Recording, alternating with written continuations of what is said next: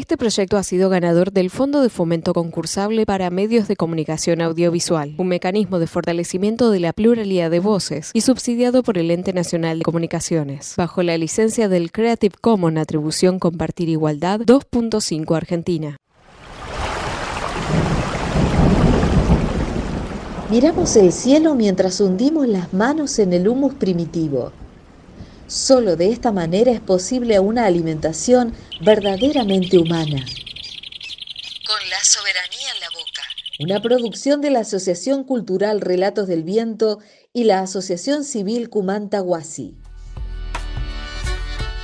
Claudio Sarmiento, ingeniero agrónomo, doctor en desarrollo territorial y docente universitario, dice que la agroecología es una manera de transitar la vida, concepto este que es puerta a este micro.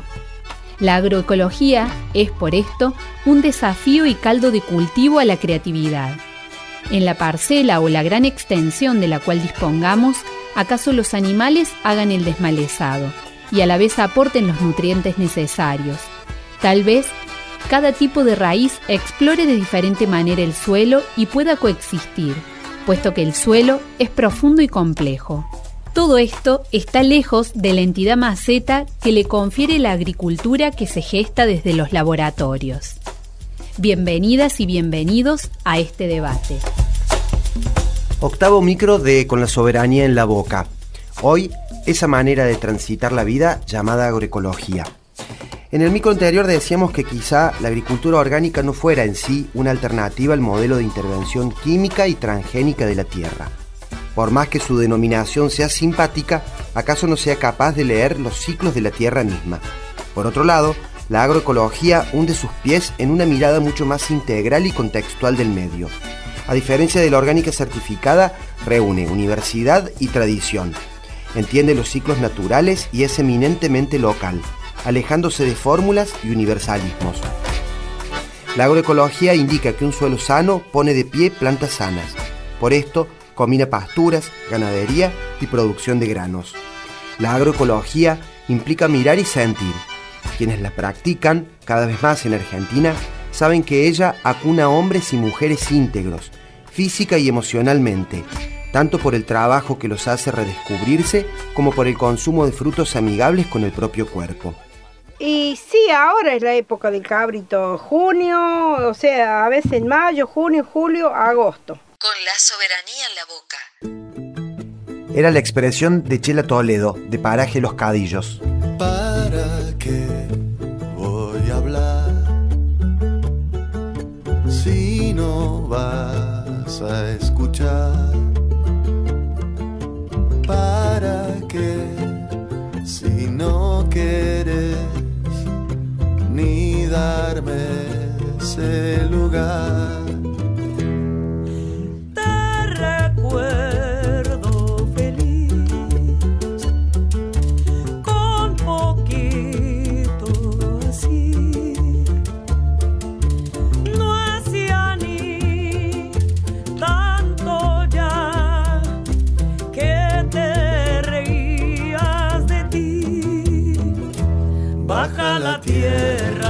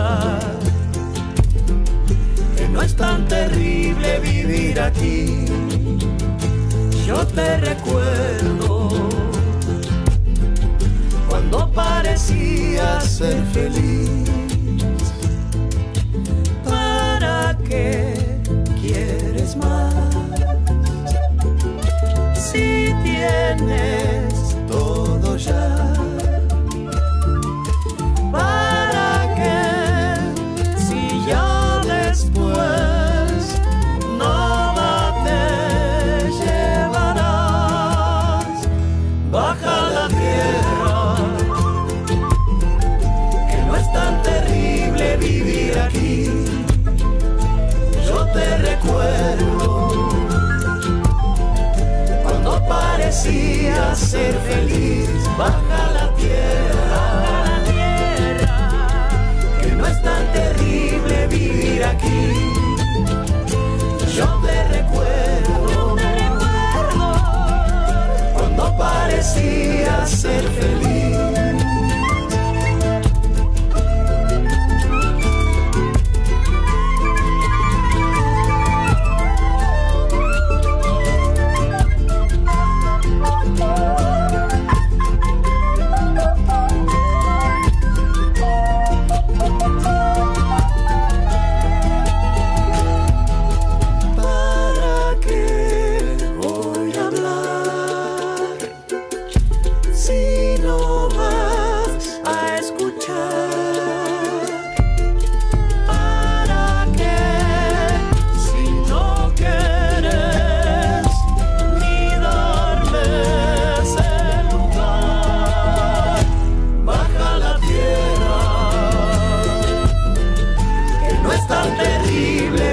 Aquí. Yo te recuerdo cuando parecía ser feliz baja la tierra. Que no es tan terrible vivir aquí. Baja la tierra. Nos han acompañado Lila Downs y Kevin Johansen con Baja a la Tierra. Comentemos que en la producción agroecológica las ganancias monetarias le sacan ventajas a la producción convencional. Experiencias del INTA certifican esto.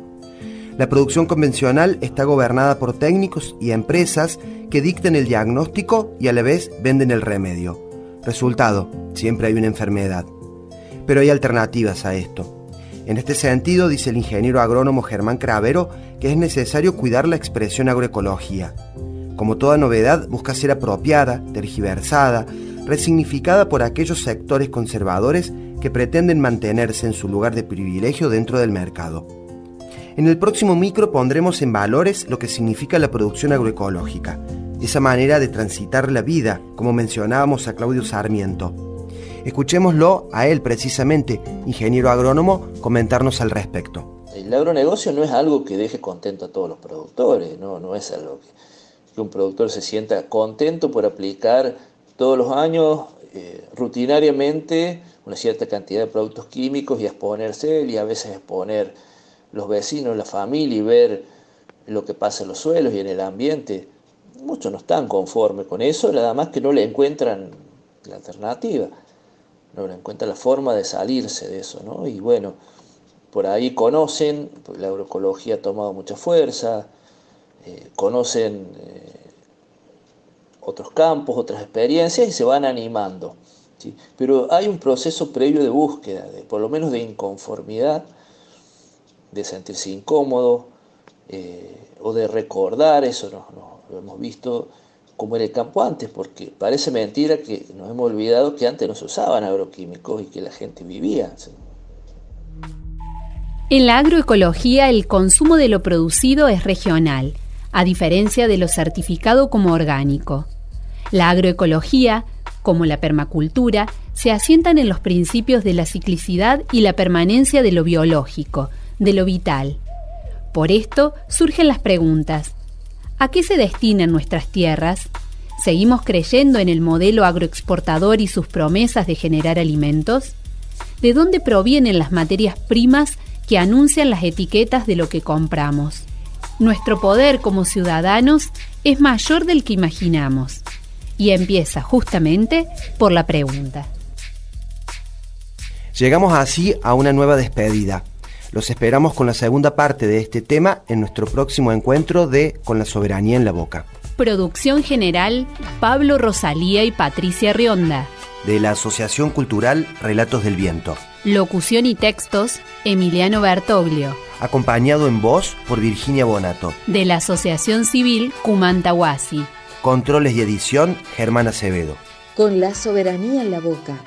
Una producción de la Asociación Cultural Relatos del Viento y la Asociación Civil Cumantahuasi. Este proyecto ha sido ganador del Fondo de Fomento Concursable para Medios de Comunicación Audiovisual, un mecanismo de fortalecimiento de la pluralidad de voces y subsidiado por el Ente Nacional de Comunicaciones, bajo la licencia del Creative Commons Atribución Compartir Igualdad 2.5 Argentina.